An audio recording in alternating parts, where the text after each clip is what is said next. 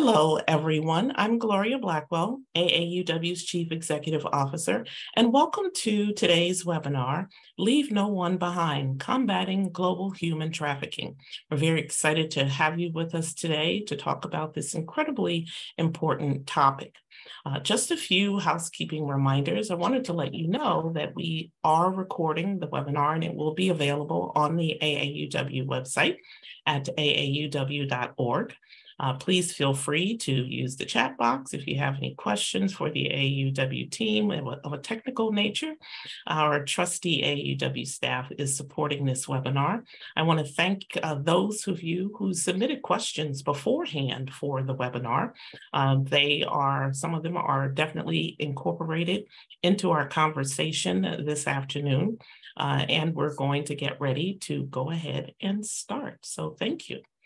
Um, so let us get started. In the past decade, human trafficking has emerged as one of the fastest growing criminal activities in the world. The United Nations Office on Drugs and Crime defines human trafficking as, quote, the recruitment, transportation, transfer, harboring, or receipt of people through force, fraud, or deception with the aim of exploiting them for profit. This modern day and form of enslavement claims an estimated 27.6 million victims of all ages around the world and is a serious violation of human rights.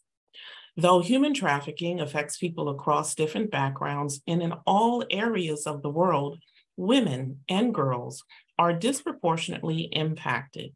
And it's important to also point out that is, it is reported that 40% of sex trafficking victims in the United States are Black, despite Black people making up only 13.6% of the US population.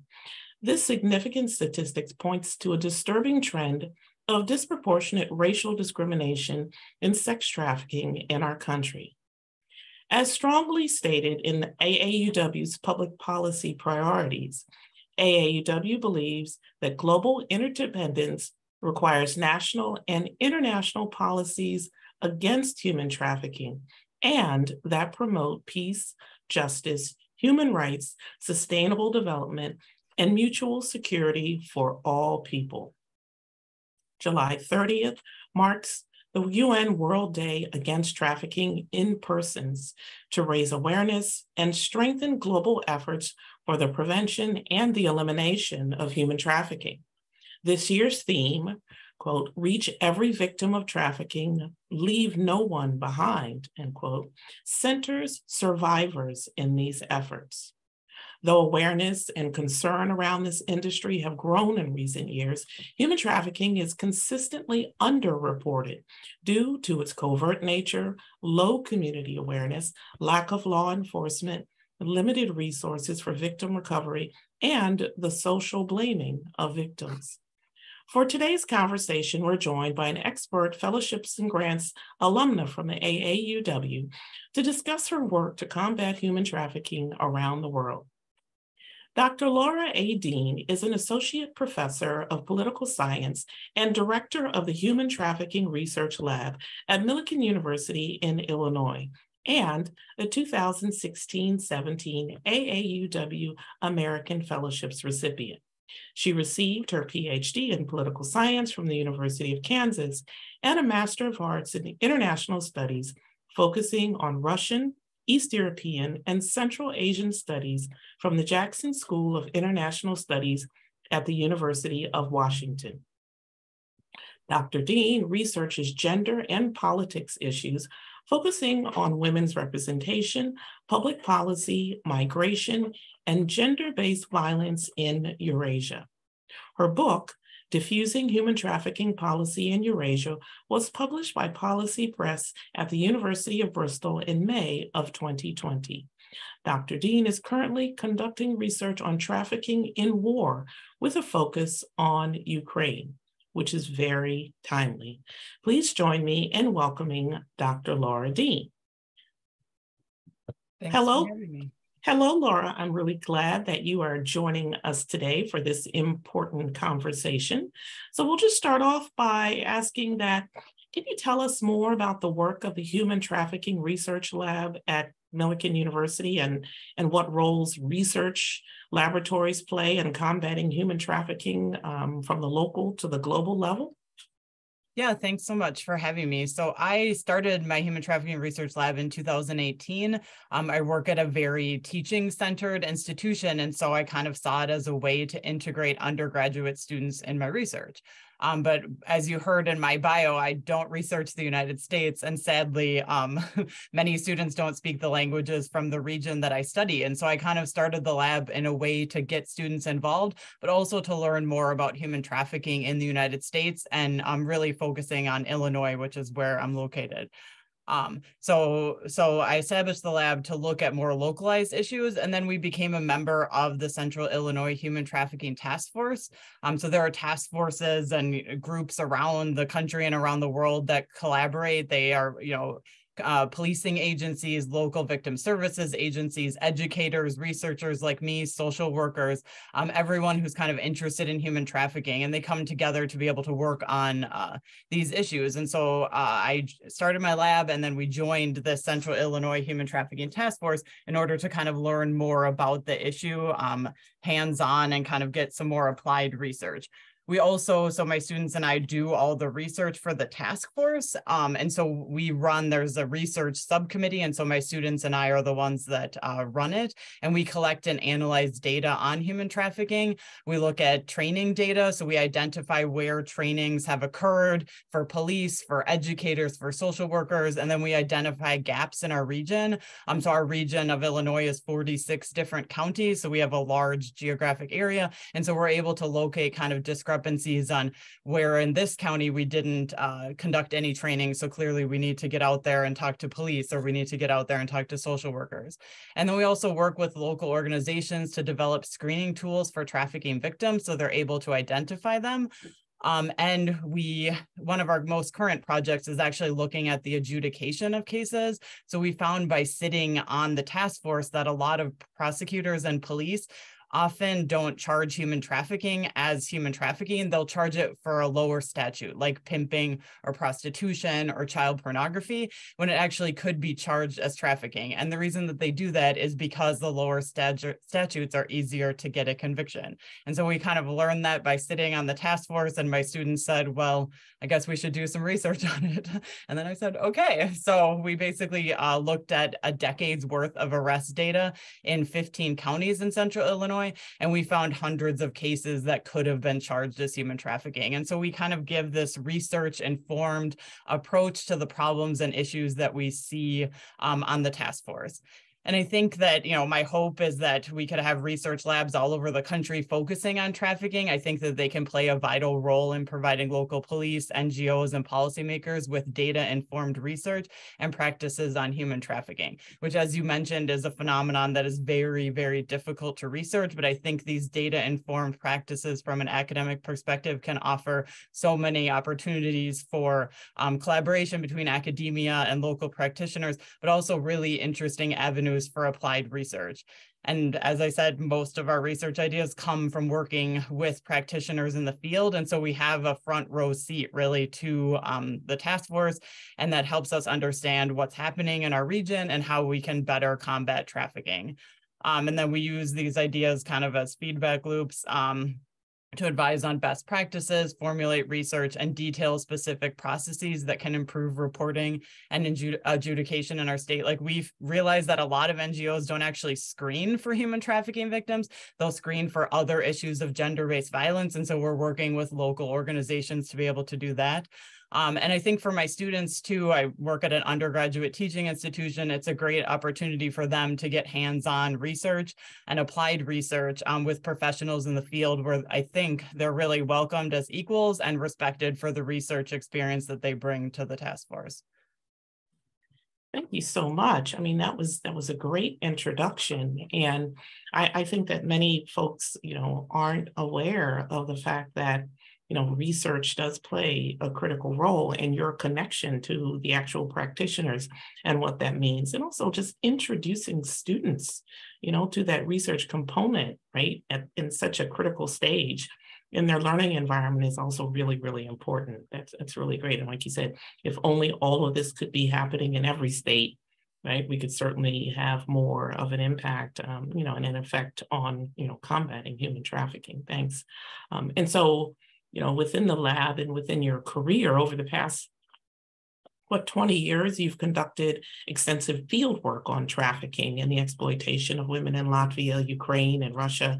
So talk a little bit about your field work and research and how you know field work on the ground can uh, inform a really strong anti-human trafficking policy. Yeah, thanks for that question. So, um, I've been really fortunate, I think, to be able to spend years in the field researching this issue. Um, so I wanted to really start with kind of pointing out the privilege that I've had to be able to conduct the research that I do with support from AAUW and different U.S. government-funded programs, which helped me learn the language. Um, I grew up as an English speaker; that is my native language, and started learning languages when I was only 19, and basically have continued learning them for the rest of my life. Um, you know, and really supported by different types of language programs. And so the ability to learn the languages, history, and culture of the region that I study is an immense privilege. And I'm eternally grateful for that opportunity.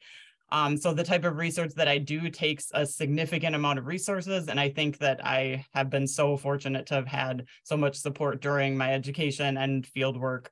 Um, so I want to make sure I point, yeah, point out the privilege that I have in conducting the research that I do. Um, so yeah, so it's I think actually on the ground research has been really vital to the work that I do. Um, before I started my PhD, I actually spent a year working at a trafficking shelter um, in Latvia, and so I came to academia kind of from a practitioner um, perspective, which I think lends a victim-centered approach uh, to the research that I do um, and the work that I do, and also it kind of informs this idea that I was able to learn from the people who worked with a lot of the policies that I studied about what worked and what didn't, and then help, the, you know, with them develop different recommendations to improve those policies. And so my research is very much informed by the voices of the people um, that work on the ground uh, you know, with this issue. So yeah, so I spent a year in Latvia as a Fulbright scholar. I spent another year in Ukraine um, where I was able to travel around to half of the regions. Um, I was there in 2012, 2013, so right before the revolution, which is such a unique time. And I'm again so grateful. Um, that was on a Rotary Fellowship. And then I spent three summers in Russia, um, basically witnessing the complete erasure of the anti-trafficking movement as the Russian government started cracking down on human trafficking uh, due to its links to the US government. So because the US government prioritizes this issue, the Russian government wants to deprioritize the issue and basically get rid of any sort of anti-trafficking organization that works to rehabilitate victims.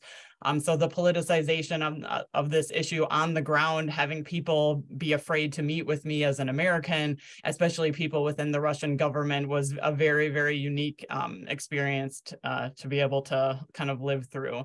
Um, so through these interviews, I was able to center the voices of local people, including numerous survivors. So trafficking, many former survivors um, of trafficking start their own NGOs. Um, and so kind of, you know, centering those voices and being able to tell the stories of their challenges with public policy was such an interesting um, thing to be able to experience. And I'm thankful for all the people in the three different countries that gave me their time and shared their insight on trafficking. Um, a lot of these activists work with very few resources, some virtually nothing, um, and they work to help trafficking victims. And that's what really compelled me actually to write the book um, and what kept me going during the dark hours of writing a book on human trafficking, um, which is a difficult topic to research and write on. Um, I felt that I really wanted to have their stories told. They would often write to me and check in and say, when's your book coming out? And I would say, well, academic research takes time. Um, but yeah, so, but wanting to kind of privilege and have their voices uh, told was something that was really important to me. And uh, due to the difficult political situations um, in, in Russia, definitely, and Ukraine, um, all of my interviews are anonymous uh, for their safety, but my research would have not, would not have been possible without all of those people and their willingness to speak with me um, and share their stories, even when some random American woman showed up to like places in rural Ukraine. They they were always willing to talk to me. And I'm so thankful um, that I had that opportunity and that I was able to experience Ukraine um, before the war. Mm-hmm. Thank you. And I'm and I'm wondering before we move into some information about your book, um, how did the, the those stories and having that experience, how did that impact your own mental health? You know, were there particular strategies that you had to put in place in order to make it through? Yeah, I mean, so that's one thing that I think working at an NGO really helped me. So having, you know, spent a year working uh, with victims um, at a shelter before I started my PhD, it was, you know, gave me the coping mechanisms, I think, and those strengths and, you know, ability to reflect on things, I think a lot better than it would have been had I not had that experience um, because NGOs are very victim centered. They're very, you know, pro mental health um, and things like that. So I definitely use those tools going into conducting a lot of these interviews.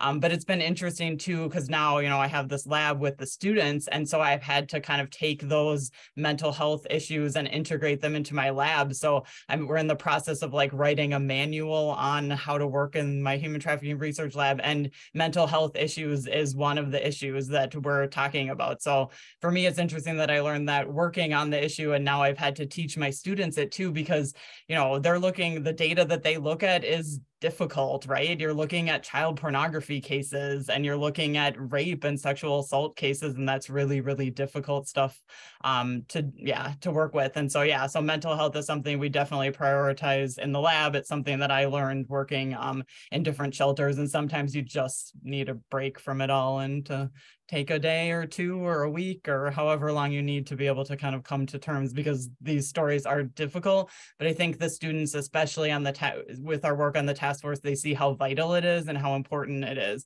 And so that also i think is something that kind of keeps us going through this very difficult work. Right right. Thank you. And i'm and i'm sure your students appreciate your you know your very holistic approach you know which is which is really really important. Great um, and so your book, Diffusing Human Trafficking Policy in Eurasia, examines how anti-human trafficking policies in the Eurasia region have diffused from the international to national level policymaking. So uh, what can you share about some of the best practices and the challenges you identified for anti-human trafficking policy, specifically policy that is gender responsive?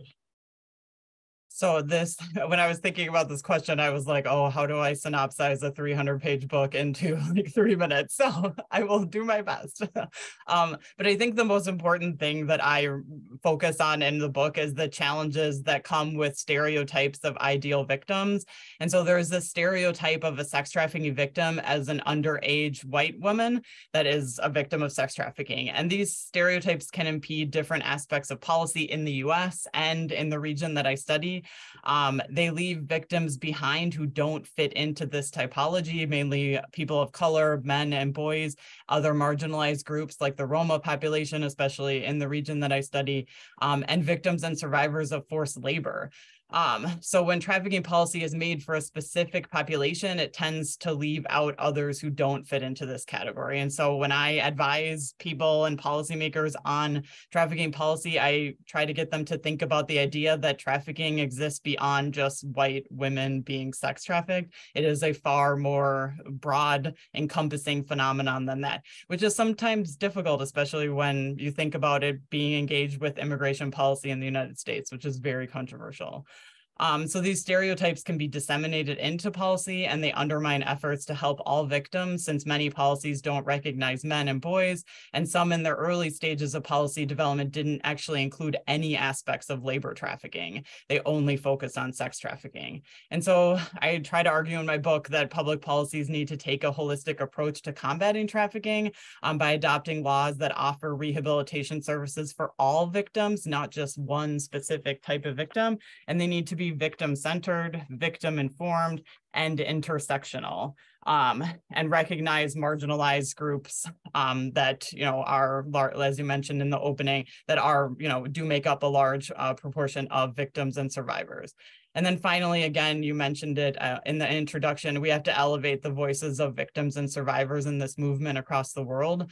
Um, and yeah, I mean, and I think that is the most important. That's something we're working on in the task force, something we try to do with almost all of the um, policies that people advocate for in the state of Illinois, really engaging victims and survivors in this movement is so integral. Um, so what I found too with different aspects of policies is that most countries just make trafficking illegal. They don't actually think about because that's basically what is required in a lot of the international conventions. But I try to argue that human trafficking policy should go beyond just criminalizing trafficking. So just making it illegal doesn't do victims you know it doesn't do them justice. And so we need to have again an inclusive approach to solving the crime. Um, there are existing national programs which are adopted every four to five years um, and they recognize different changes in the trafficking dynamics but many of them have what we call sunset clauses meaning that they end and can expire and some countries don't adopt them again um, which is problematic. Um, and national laws adopted through different legislatures are, can be a more enduring policy approach, but they're lesser used um, to combat trafficking.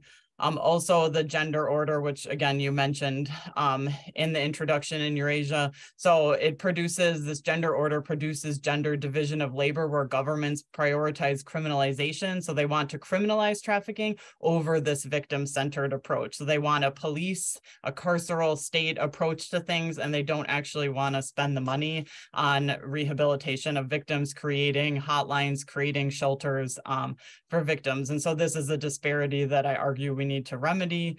Um, and then these inequalities are found not only in policy adoption and implementation, but also in different anti-trafficking institutions, which are designed to implement the policies. Um, so I have kind of, I don't know if you want to go into my recommendations, but basically I created an index, which I think, which evaluates all 15 countries in my region on what they can do. Um, so I argue for more victim assistance, a safe return policy, which means that if someone is trafficked to another country, they have, there is funding and government budgets to bring them home if they choose to come home. It's called safe return. Um, temporary residence permits are so important. Many countries don't have them, but providing victims victims an equalized and normalized immigration status is so important um, vacating convictions for victims, which I'll talk about in the second in a second in the context of the U.S. is so important. Um, many people commit crimes when they are in a trafficking and exploitative situation, and so having laws to vacate those convictions is important.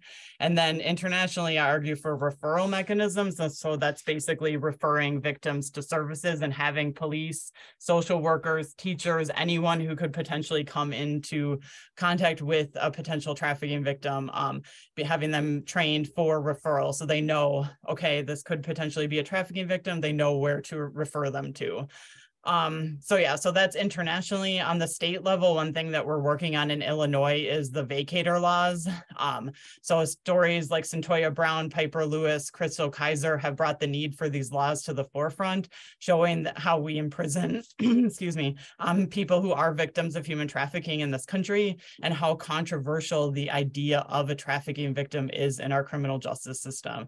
So I think we need more support for victim services, more shelters to help all victims, but we also need these vacator laws to be able to recognize that people are victims and sometimes they're compelled to commit crimes um, while they are in exploitative situations.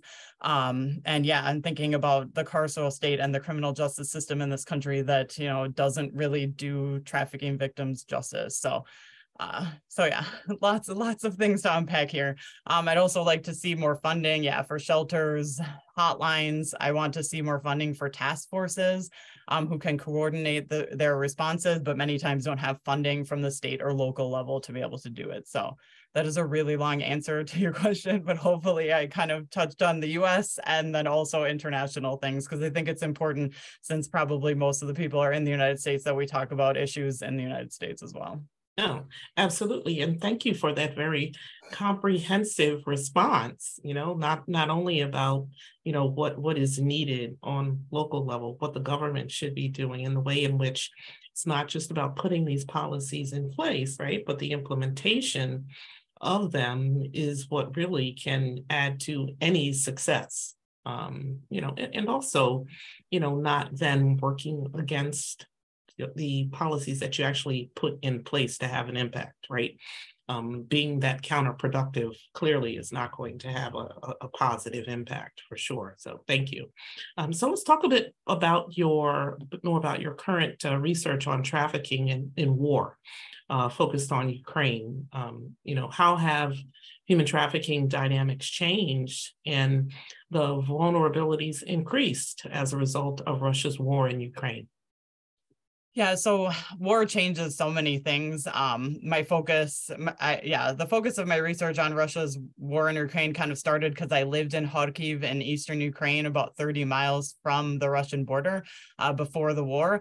And so this issue is very personal to me. Um, but I also want to mention that there are wars happening in lots of different places in the world. So I focus on Ukraine because I live there, I speak the language. Um, but this type of research that I do and these types of dynamics that are happening are likely similar um, in places like Syria, Afghanistan, Iraq, Ethiopia, Myanmar, so many places with wars. And so, um, so while my research is focused on Ukraine, there are many wars happening around the world today uh, that create similar vulnerabilities and similar push factors that compel people um, into these trafficking situations.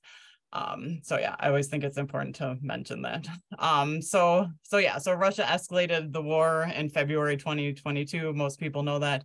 Um, almost immediately, we saw aid workers and volunteers reporting instances of human trafficking on the Ukrainian borders. So people fled mostly to uh, to Europe. Um, so most of them went west. Some of them actually did go east. Um, and so um so yeah so they kind of created this moral panic and things like how do we actually deal with this as a result of war um, and we see what we found with different dynamics is that human human beings are often captured and sold during conflict, but this the speed of and scope of the displacement of Ukrainians dispersed across Europe makes this situation very acute and kind of different from other wars, just because the proximity to Europe makes it um, I think more, I don't know, Europeans are more focused on it because it is something that's happening in their backyard. Um, and so the dynamics of trafficking in Ukraine have changed. So it really started in the 1990s and early 2000s with um, female victims of sex trafficking. Then, um, as of 2008, uh, it moved to actually male victims of forced labor. So we saw more male victims of forced labor. Um, and then with the annexation of Crimea and war in Donbass that started in 2014, we now kind of see a, a mixture of all of those types of trafficking, um, and especially since the invasion of 2022. So there have been evidence of child soldiers used in combat, as well as the forced recruitment of men and boys into the military. Um, there have been significant reports of women and girls being kidnapped for the purposes of sex and labor trafficking. Um, and so we've seen a lot, many, many reports of all of these issues happening. But of course, this is happening in a war zone. And so it's very, very difficult to understand the true dynamics and numbers behind it. Um, there also have been massive deportations of Ukrainians. And so, whenever you get a large movement of people, that is kind of a recipe for human trafficking. Uh, the State Department estimates that between 900,000 and 1.6 million Ukrainian citizens, including 260,000 children, have been forcibly deported. Um, and so while human trafficking is definitely not new for Ukraine, um, the you know almost seven million internally displaced people. So these are people that are displaced within Ukraine. Um, and then almost 8 million people who fled to neighboring countries since the conflict began means that there is a huge risk for human trafficking. And again, we see this risk happening in all wars around the world today. Um, so the United Nations said that the escalation of this war in 2022 was the fastest and largest displacement of people since World War II. Um, yeah, and almost no government is able to respond to that, right? I think you know, if something happened in a Western country in the United States, our our governments would have equally as difficult of a problem coming to terms with this, especially when you're fighting a, a war. And human trafficking kind of takes a very, very backstage to um, this issue also one thing is human trafficking is a longer um, form of gender-based violence and so we've heard a lot of reports of sexual assault um, during the war and that is a more acute type of gender-based violence. Human trafficking is more prolonged and we see a delay in identifying victims. So when the first part of the war started in 2014 uh, basically ukrainian victims weren't located until 2015 2016 because when they're in an exploitative situation it takes time and there's significant lag to get them to be able to come forward. Um, and so we are now just beginning to see victims that were, um, you know, uh, trafficked in 2022. So we have a year, year, year and a half lag uh, uh, in identification of victims because many people don't realize that their you know situation was a trafficking situation and there's a, a really prolonged and delay in identifying uh, victims of trafficking. So so yeah so that's kind of the different dynamics that we've seen. Um, and you know what basically the lag i think is important and i think that we would also see that lag if we research um, trafficking in syria or trafficking in ethiopia as well. So this lag and this longer term form of gender-based violence i think is very very important when researching um, war. Uh, let's see. Yeah, and one thing. Oh, I guess. So I also wanted to talk about. I was able to conduct research with uh, with uh, Ukrainian NGOs on the ground in January and February, um, and I did it through Zoom, through the power of Zoom, um, which was great. But it was really interesting. I thought that no one would write back to me, but to my surprise, I, every single NGO that I contacted working in Ukraine wrote back to me. Um, even though that you know this was during war, they had huge power outages. I had one woman that was like on the last battery of her laptop as the sun was going down and was talking to me in the dark. Um, and so I think Ukrainians really wanted their voices heard. They want people to know what is happening. Um, and again, like those local voices, I think are what make my research um, so impactful and i think so important to to be able to talk about you know and raise the voices of the people that are experiencing and have experienced war. And so uh, can you talk tell us a bit about how international organizations and local entities are engaging in anti-trafficking responses during the war?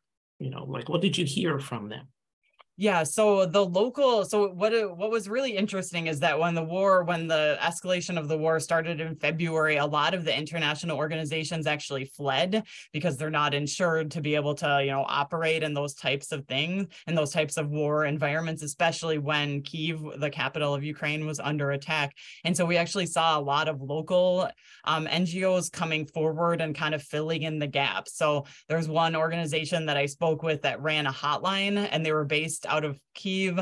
Um, they were on the right side of the river and were getting calls from the other side of the river where, you know, the war was happening. Um, and they were able to keep their hotline going. Um, one of the people that I spoke with, you know, they said they had to give the hotline, the people who answered the hotline extra, you know, mental health days and everything just because there was nothing that they could do. All they could do was listen to people tell their stories you know about different aspects of sexual violence and things like that and so um, so yeah, I think that was very eye-opening to me and the fact that many of the international organizations actually had to leave and it was a lot of the local organizations uh, that stayed. So uh, basically when I, so before the, the current escalation of the war in 2022, there were 28 uh, reintegration partners throughout the country. Um, and now only 18 are still operational. Many people had to flee. Some of them fled to Poland. Um, so there's a 36% decrease in organizations that actually work with human trafficking. And so some of the organizations that had to flee, um, people said, you know, we just can't operate in this type of environment and some of them again were in the occupied territories um, in eastern Ukraine. And so there's a huge reduction of support systems across Ukraine and an overload of people calling the hotlines that still exist. Um, which again, something I kind of, you know, didn't realize uh, would happen during war we would see we see certain people flee right? Certain people stay. And so a lot of the local organizations that stayed have had to step up their efforts during the invasion despite damage to their offices. One of the ngos told me they had to replace all of the windows because there were bullet holes in them. Uh, many of them had blown had been blown out. They had to restore internet access. Many many people were on their phones with like you know the link getting internet through their phones to be able to continue to talk to people on the hotlines. Um, and then, you know, hits to the power grid and vital infrastructure have interrupted hotlines, um, but they do their best to be able to kind of, you know, continue to exist. Uh, uh, with the hotlines. Um, they also started taking uh, like uh, messages via Facebook and Telegram, which are different social medias. Um, and so, despite you know the staff of all of these NGOs being displaced around the country, they're working really, really hard to be able to continue to be able to help people who are calling for any sort of you know type of gender-based violence that is happening to them. Um, and then yeah so then we have also seen so as the war has progressed there have been uh, reports of exploitation in a lot of the occupied territories. They they're especially in mariupol which is the town in the south that has basically been virtually destroyed. Um, russian the russian army or someone uh, they've brought in workers from central asia that are working to reconstruct the destroyed buildings. Um, and lots of exploitation has been involved in that. People aren't paid paid, things like that. Um, we've seen reports of police in Spain broke up a gang that uh, ran illegal tobacco factories where Ukrainian refugees worked in poor conditions. And so again, these are a year after, and so we're first we're starting to really see kind of the first stories of trafficking, and we're learning that like yeah, I mean Spain is very very far from Ukraine, um, and we're starting to see kind of the aspects of exploitation in the occupied territories, and then of Ukrainian refugees that have fled to Europe too. Thank you. When I think about, you know, those NGOs who have managed, you know, to stay afloat on the ground and what an incredible resource that they are for, you know, those who have been impacted by gender-based violence or or, or trafficking. I mean, they are they are clearly you know, undertaking efforts that, you know, we could only, you know, imagine, you know, how they are able to survive during a, a time of war and still be committed, yeah. you know, to ensuring um, that they are providing any kind of service that they possibly could. Um, and so when we talk about trafficking victims uh, and you know heading people having the capacity to you know transport them across you know, country or state lines. Um, how, how do immigration laws affect human trafficking victims? Yeah, so so in the instance of Ukraine, so Ukrainians have a temporary protection directive, and so they actually are able to live legally in Europe, um, in the European Union, and so I think that has been one of the biggest aspects of policy that has helped trafficking, uh, that has helped curb trafficking. Um, I don't think the EU had that in mind when they established the directive, but uh, normalizing people's immigration status and giving them the ability to work legally is so important important because trafficking traffickers use immigration status as one of the big reasons to keep people in an exploitative situation. And so that directive, I think we, you know, we will see, especially compared to people from other war that have fled to Europe from other wars and conflicts, we will likely see less exploitation um, with Ukrainians because they do have that normalized immigration status. Um, in the US, immigration, I mean, is very controversial, but it's definitely used to keep people in exploitative situations, especially people that are trafficked um, from other countries to the United States. Traffickers often use it to threaten and coerce people um, to, to keep them to continue to work. They will say, I will call ICE on you. I'll call the Department of Homeland Security. You'll be deported unless you do this, right? So um, our immigration policies in a way in the US can sometimes facilitate aspects of human trafficking and keep people in a coerc- coercive um, experience because of the laws that we have. And because also, I mean, we do have a human trafficking visa. It's called a T visa. So if you are a victim of human trafficking, you're actually able to stay in the United States and have a normalized um, immigration status. But most people that are trafficked to the United States don't know that. Um, and so, and in fact, a lot of the T visa applications are kind of stuck in limbo. um, and so people aren't always approved. So there's lots of problematic aspects of it, but our immigration policies in a way can help facilitate aspects of human trafficking because they keep people in those exploitative situations and make them fear police, right? When sometimes the police could actually help them in a trafficking situation.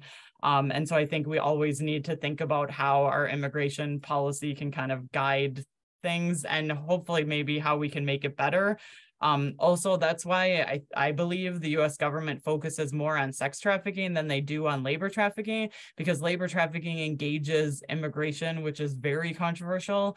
And so um, lots of people don't want to think about that, you know, the people picking vegetables could be trafficking victims. People, you know, cleaning hotel rooms could be trafficking victims. It's much easier to paint it as people being sexually exploited or underage girls being sexually exploited than it is to think about the person who, you know, picked the vegetables or made the tennis shoes that we wear or mined, you know, the um, different uh, minerals that go into the batteries in our cell phones. And so it's a complex issue, but yeah, immigration policies often, um, I believe, facilitate trafficking and keep people in those coercive experiences uh, for longer than they would if, um, yeah, if we if we didn't have such stringent immigration policies. Yeah just a just a very very complex issue for sure um, and you talked just a bit about the fact that you know those stereotypes around trafficking still exist you know not just in the US but you know clearly around the world but you know those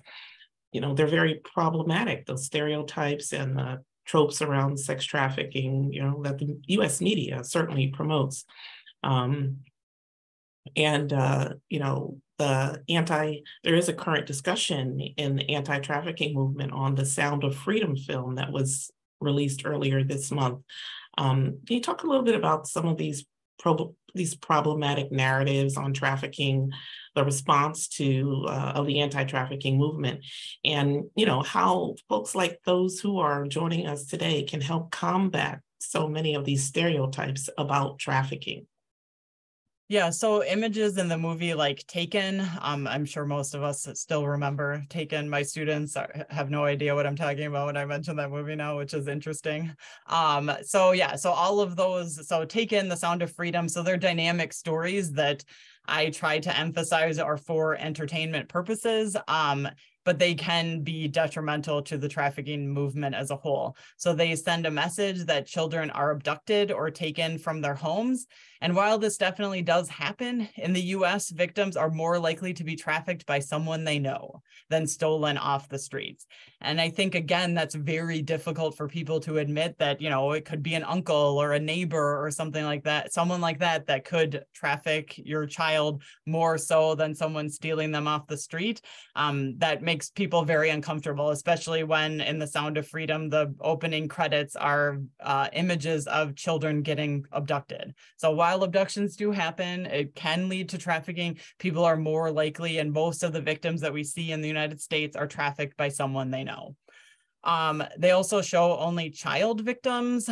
Um, so Taken and Sound of Freedom. I mean, Taken, I guess she's in college, so she's technically an adult, but um, they show child victims. Uh, and people that are trafficked don't believe that they fit into this stereotype. So they would see a film like that and say well that's not me right? So i don't fit into that type of uh you know trafficking situation. Um and so those stereotypes that can be perpetuated in these films are very very problematic because most victims aren't identified through raids um, like the ones that we see in the movies. In fact, many victims self identify their exploitation. And so when you have movies that send a message that, oh, you don't fit into this stereotype of what a trafficking victim is, that leads to a delay in identification. Um, and people who have been exploited, the biggest people that identify them are themselves. And so I think it's important when we think about education that it has to be holistic, it has to be encompassing. It can't just focus on one type of trafficking um, and kind of, you know, promote, it can't promote stereotypes that are perpetuated in these films. Um, so yeah, so I think that's why the stereotypes can be so harmful because it, yeah, if they see the people in the movie as real victims, they won't identify that they're they also could potentially be a victim and come forward to receive assistance. Um, and this is especially important when we're talking about marginalized populations in the US that are disproportionately at risk for human trafficking, including people of color, LGBTQ individuals, people with disabilities, indigenous people. Um, all of those people are not you know witnessed in these films. And so i think that you know they can again perpetuate problematic stereotypes that just don't match what victim services agencies are seeing in the united states. Um also these stereotypes mean that trafficking advocates have to work twice as hard when they train people to counter this misinformation right? So i cannot tell you so i teach a trafficking class every single time students bring up different films right? They bring up oh well what about this? What about this? Right? And i spend like the first two weeks talking about well no that doesn't you know exactly fit this. This is why it's problematic um, and so a lot of these films, they can raise awareness, but they raise awareness to a certain type of trafficking that isn't always what we see in the United States.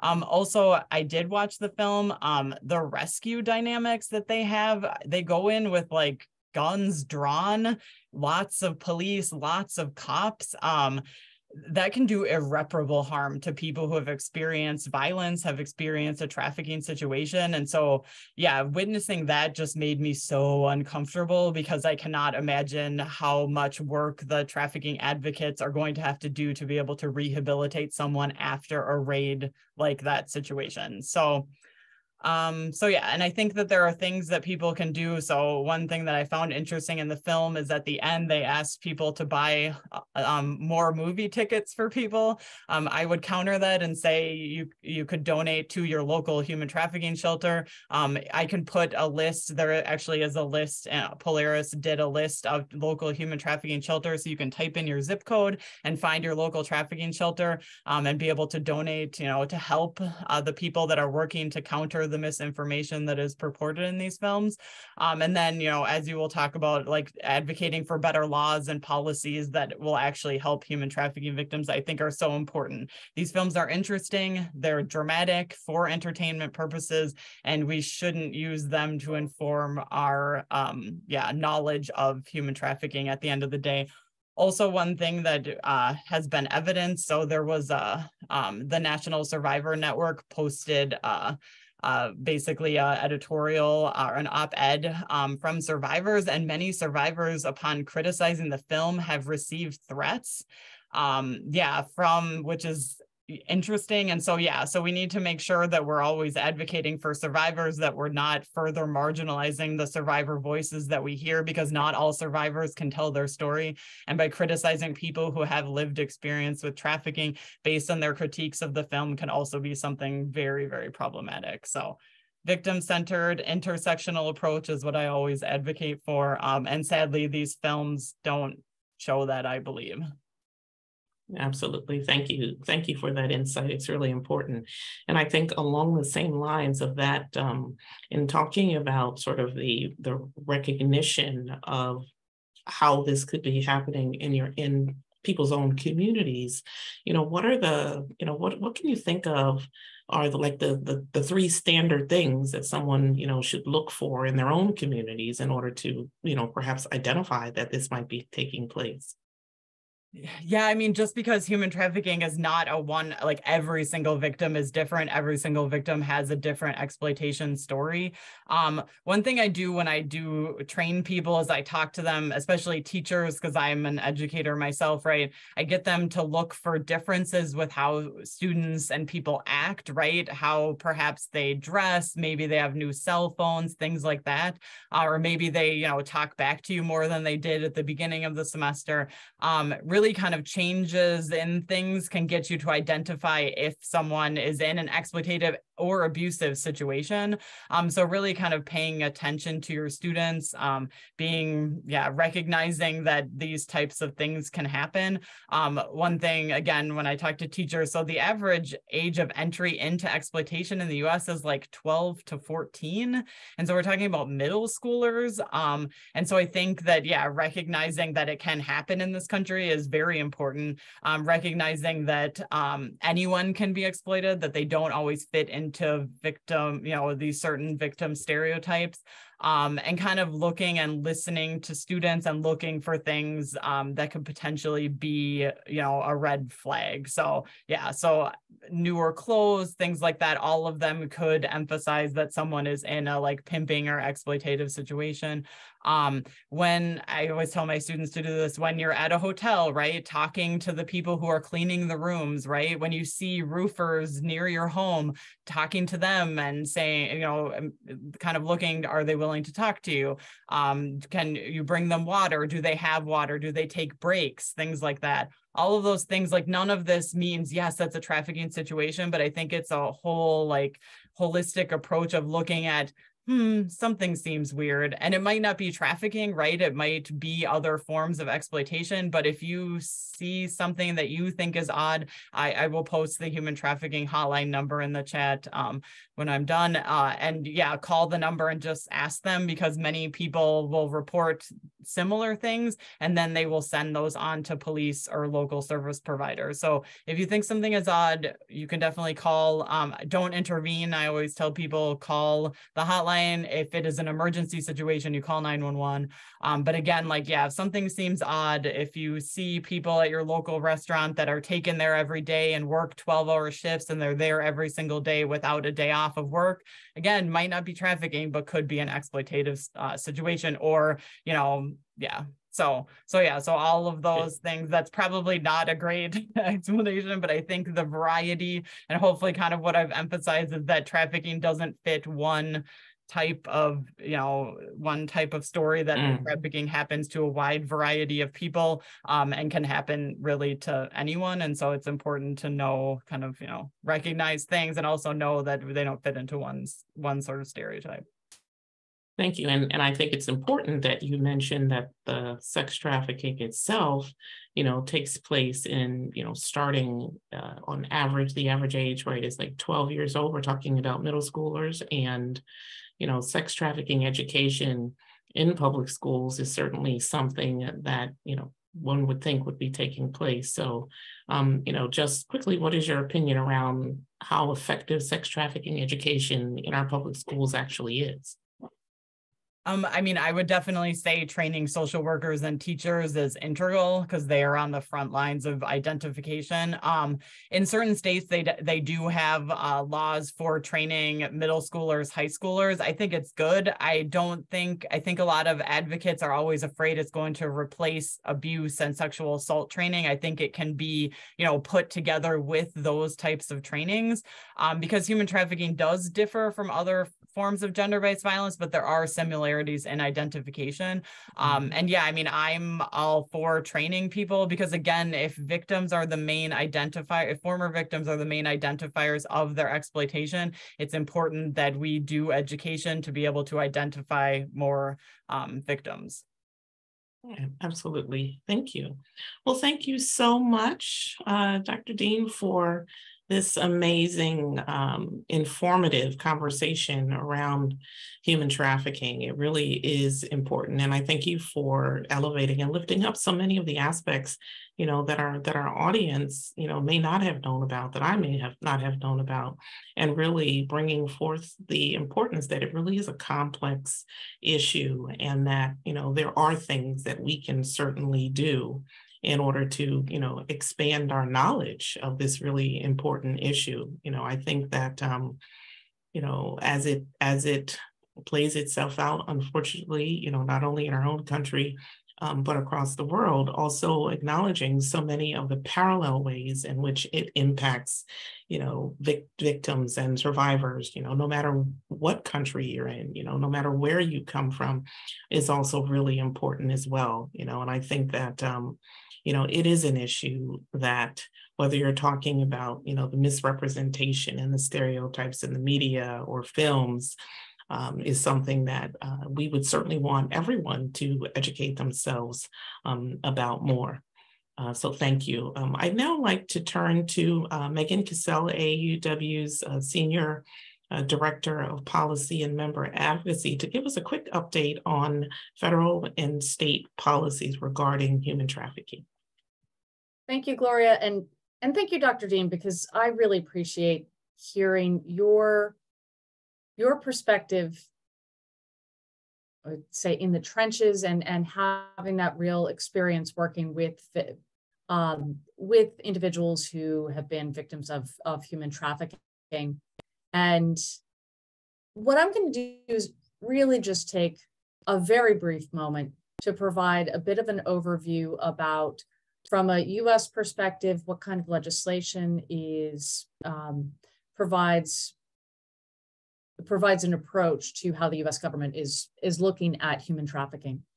And the, the main piece of legislation at the federal level is the Trafficking Victim Protection Act. And this was the first comprehensive federal law to, uh, to address trafficking in, in persons. It was a reauthorized about five times, most recently in 2019, with strong bipartisan support. And the approach is three pronged. It's really focuses on prevention, on prosecution, and protected protection of victims. This is not without its flaws or gaps, as Dr. Dean had, had noted, that and one of the, the challenges and, and benefits is that the US does take a multi-pronged approach and that responsibility for human trafficking is really spread across quite a number of different agencies, including Department of Homeland Security, uh, including the FBI, the Justice Department, Health and Human Services. So we see an, a myriad of different departments that are engaged in different aspects of uh, both sex trafficking and labor trafficking. But as Dr. Dean pointed out, there are complications, for example, when we're referring to labor trafficking and Department of Homeland Security, what, what that all comes along with it. So that's the foundation at the federal level. And there is a lot of work being done at the state level. There were, I, I double checked, there were more than a thousand bills this past year introduced at the state level on various aspects of, of human trafficking. And they really run the gamut from protection of visit of protection of uh, victims and prosecution and prevention. Just want to give a bit of a shout out to Washington State that in 2003 they were actually the first state to criminalize human trafficking. And since then, we've seen every every state establish some kind of criminal penalty for traffickers uh, seeking to profit from forced labor or sexual servitude. I think there was a, a question in the chat earlier about what folks can do, what what AAUW branches can do, what what individuals can do, and and I just want to highlight a couple of things that AAUW, AAUW is doing around the country. That there are branches in almost every state who are holding forums, who are bringing in experts, folks like Dr. Dean, folks like who are work, folks who are working either in academia and research and victim services, bringing folks together to help raise awareness of the local impact of human trafficking. So we're we're seeing this in in California, in Florida, in Pennsylvania. Um, it is happening in your backyard, even if you don't see it. So raising awareness that this is an issue that's happening all the time, all around us, is incredibly valuable and incredibly important piece that we can bring to our own communities. I will mention that one of the challenges, and one of the things I'm not talking about is what are the statistics in the country? Because there are statistics of how many how many calls and tips are coming into the national hotline. And yet as dr dean pointed out so much of that is self-reported. And it's really a tremendous underestimate and tremendous undercount of how much uh, of the real impact that is happening just a couple of other shout outs just as an example uh, in Florida, just this past year, in May, there was a bill that was passed that would require would require training for law enforcement officers to help in identifying and investigating human trafficking.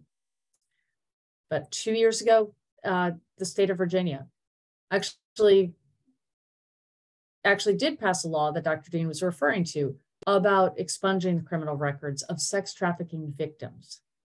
And that's definitely one of the, the, the barriers that we see. And we continue to see my branch in Alexandria continuing to have a human trafficking intervention team and looking for different ways that they can continue working with, with police and victim services. In, in New York, we've seen our, our members working with um, coalition partners to really look at critical gaps in the state laws and looking for increased accountability for traffickers. I hate to use, I hate to say this, like traffickers and buyers is how this is referring. And the fact that we are still have to use that language of slavery today reminds me of how real this is because this is happening to people all around us. I'm not giving you an overview. I'm not getting into all of the bills around the country, but I did just want to give a couple of highlights that there is progress. There are a lot of gaps uh, between the federal and, and the state laws. We do need to do better. So from a policy perspective, there still is a lot of opportunity for us to be working with folks who are working directly with with victims of human trafficking to learn from their experiences to have that data, data informed policy. And that's what we want to do and want to continue doing. And at the local level that is one of the best things that people can can be doing to help raise the visibility. So with that, that was a just Gloria, super brief uh, view of what's happening on the policy aspects and what more we can do. Thank you so much, Megan. And I think that, you know, folks who are looking for any additional information about uh, AAUW's activities can uh, be in touch with you. And I know that you and the team would be happy um, to connect with them. So I want to thank both you and, of course, Dr. Dean for sharing her valuable insight, knowledge, and time with us this afternoon um, for such a great conversation. Another reminder that the recording will be posted on the AAUW website and on our YouTube channel as well in the next week or so. I want to thank the AAUW staff and team that were behind the scenes uh, helping out today uh, with support. Uh, Dr. Dean, I'm going to give you the last word, but I also want you to know there's a question about whether or not, uh, you know, you might be interested in presenting some of this incredible information and research uh, to local AAUW states or branches. So we will um, definitely uh, make sure that uh, we connect you that those who want who may want to have further engagement with you. So thank you very much. And I want to give you the last word of anything that you'd like to leave our um, participants with. Yeah, thanks. I yeah, I would love. I've talked to our local branch here in Decatur, Illinois. Uh, shout out to Decatur. Uh, it's our AAUW branch here. I've spoken to them, uh, and I'm always willing, especially if you're in Illinois or Indiana. Iowa is a little far. Uh, Wisconsin, maybe. Um, I'm always willing to come and talk to people. Uh, but yeah, I guess my final two things are number one, uh, if you have survivors in your community, you can also invite them uh, to your local branch to be able to elevate their voices. Um, and if you can, please compensate them. Um, they come from an exploitative situation. And so if you're able to invite a local survivor to come and speak to your branch, um, that is great. Please make sure if you can uh, to be able to compensate them for their time to not further uh, the exploitation.